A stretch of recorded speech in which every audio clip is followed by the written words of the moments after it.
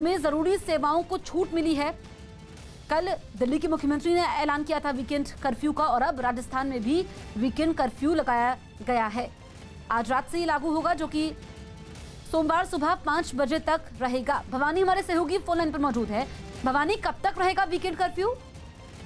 देखिए तीस अप्रैल तक रहेगा तीस अप्रैल तक पहले से नाइट कर्फ्यू लगाया हुआ, उसके साथ में अब वीकेंड कर्फ्यू चलेगा और वीकेंड कर्फ्यू के अंदर अब एलपीजी जो फल सब्ज़ी वाले हैं बैंकिंग सेवाएँ हैं, इनको कर्फ्यू में शामिल नहीं किया गया इमरजेंसी सेवाओं को शामिल नहीं किया गया, इनको छूट होगी, बाकी सब पर लागू होगा स्ट्रिक्टली सरकार ने कहा कि लागू किया जाएगा, उसकी वजह यह है कि राजस्थान के अंदर जो संक्रमण है, वो तैतीस, सभी तैतीस जिलों में पहुँच चुका है और उन्नीस ज़िले ऐसे हैं जहाँ पर सौ से ज़्यादा संक्रमित आ रहे हैं डेली।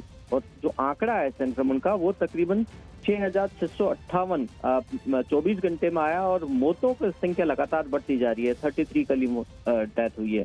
तो उसको देखते हुए सरकार ने सख्ती का फैसला किया। जी। तो भवानी मरे सहयोगी जानकारी दे रहे थे कि सख्ती का फैसला किया है। राजस्थान सरकार ने तीस